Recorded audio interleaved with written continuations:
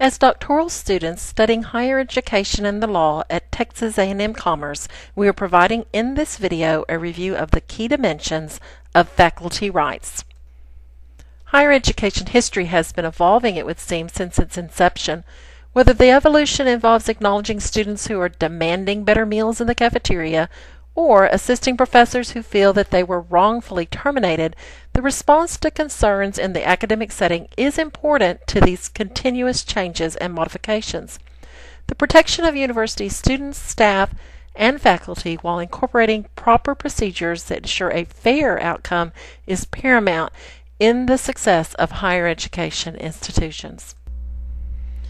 Dismissals in higher education can be initiated by academic cause, which includes denial of tenure, academic misconduct in teaching or research or incompetence, as well as disciplinary misconduct, which includes misuse of funds, institutional or grant related, insubordination, immorality, embezzlement, neglect of duty, lack of collegiality or harassment, unprofessional conduct, or other good and just cause, as well as reduction in force, which are layoffs in times of financial hardship, loss of program funding, or reconfigurations. Due process protection occurs in public colleges under the Fifth and Fourteenth Amendments in the U.S. Constitution. The Fifth Amendment states that no person shall be deprived of life, liberty, or property without due process of law. And the Fourteenth Amendment in Section 1 extends due process to the state government and therefore to public universities and colleges. In private colleges, due process is governed by good faith adherence to handbooks and contracts. Due process means that legal proceedings must be conducted with fairness in procedures and in content. There are two elements of due process that the courts must consider for public institutions in higher education. The first is does due process apply? Or are liberty and property interests implicated? The second is the level or the amount of due process that the court case depends on. Liberty interests may include damage to a person's good name, reputation, integrity, or honor that would harm their ability to find employment or make money. Property interests are related to employment contracts and the person's claim to salary and benefits.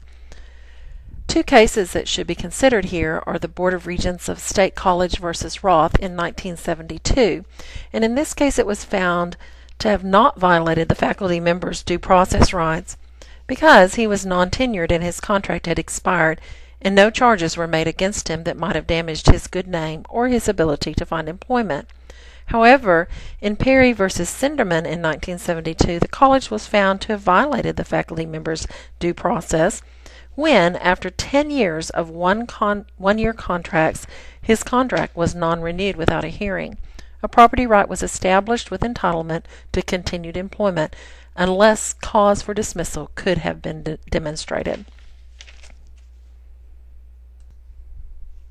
The level or the amount of due process depends on three criteria. One, the severity or the loss of deprivation to the employee. Two, the type of dismissal. Discipline dismissals are formal. Academic dismissals are less formal and fall under academic abstention, which is the differential treatment to decision makers in higher education and contract termination, which is detailed and formal. Three, the balancing of rights of faculty and staff versus the interests of the college. Faculty and staff dismissal procedures must follow institutional policies, and these policies should include 1. A notice of rule violations with opportunities to make corrections and annual reviews of employee performance.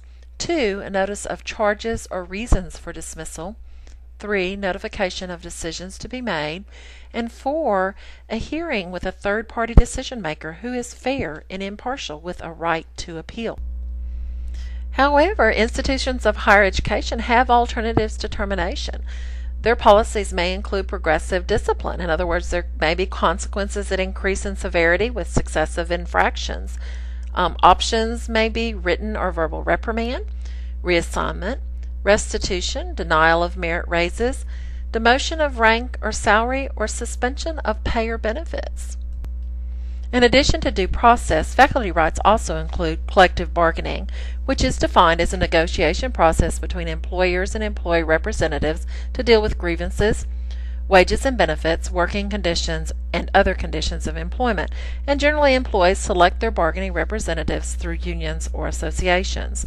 In the private sector, the National Labor Relations Act of 1935, or Wagner Act, allowed collective bargaining through formation of unions or organizations and established the National Labor Relations Board.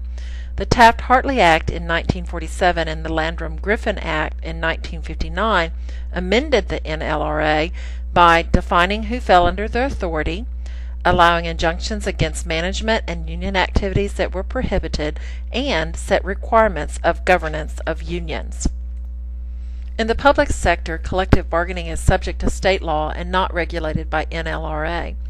34 states require collective bargaining, and in these states, they set requirements for the bargaining representatives and identify areas that require bargaining, are prohibited from bargaining, or areas that may involve bargaining with mutual agreement.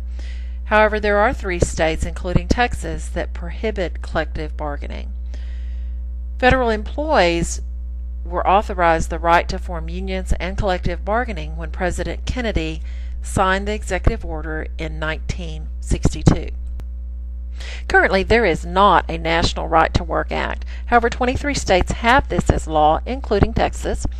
The Act states that individuals may not be denied employment because of membership or non membership in labor organizations. How do you think a National Right to Work Act might impact collective bargaining? The law itself has been introduced repeatedly over the years, but never signed into law. Collective bargaining began in colleges and universities in the late 1960s. However, in 1980, with the National Labor Relations Board versus Yeshiva University, private faculty were classified as managerial and exempt from participating in negotiations because faculty were involved in self governance, tenure decisions, and other economic decisions and this caused ex- existing faculty unions to dissolve.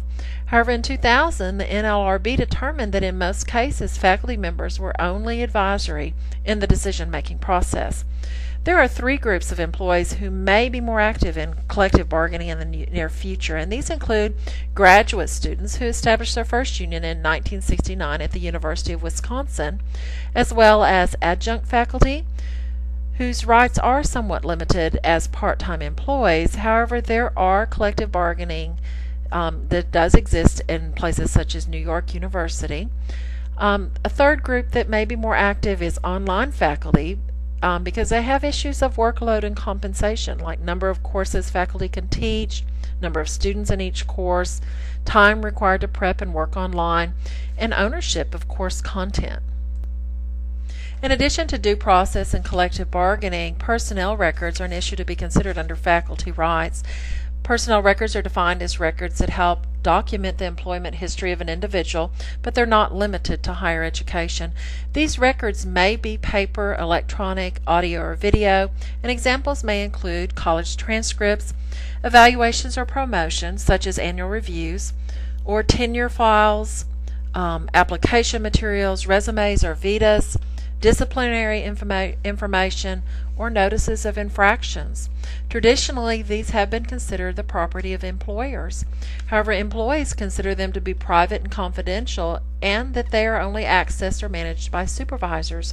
However, as public employees, transparency is an issue to the public.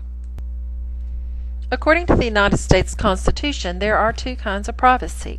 Informational privacy is the federal government's release of private information about individuals, and constitutional autonomy regards the federal government's interference with highly private individual decisions. Many state constitutions also have explicit guarantees of privacy, and all states have adopted one or more of the following common law tort claims in regards to individual rights to privacy 1. Intrusion on seclusion, 2. Public, public disclosure of a private fact, 3. Being placed in a false light publicly, and 4. Appropriation of another person's name or image. The public's right to know versus the employee's right to privacy is a major issue in personnel records. The Privacy Act of 1974, or Freedom of Information Act, now a part of FERPA, allows for the general public to request that the government disclose records unless they are subject to a specific exemption. By 1983, all states had adopted state level Freedom of Information Acts. However, a number of states have no exemption language in these acts. Therefore, disclosure of personnel files is subject to case by case analysis. In the University of Pennsylvania versus EEOC in 1990, the case emphasized that the Equal Employment Opportunity Commission has the power to enforce its statutory duty to investigate discrimination. In this case, university officials had to release confidential male faculty peer review materials to the EEOC for evaluation of the female applicant's claim of discrimination in her application for tenure. In summary, protecting the rights and the records of individuals by state and federal institutions occupies a significant responsibility in ensuring a fair process. And today, the students, staff, and faculty have benefited from the struggles, court hearings, and lessons learned from the individuals that came before us and established the rights and order on our campuses. The key to success of public and private institutions lies in our ability to ensure that records are protected that there is a due process available, and that collective bargaining remains part of the equation in higher education. We hope you found this information beneficial, and in conclusion, we would like to give reference to the following informational sources.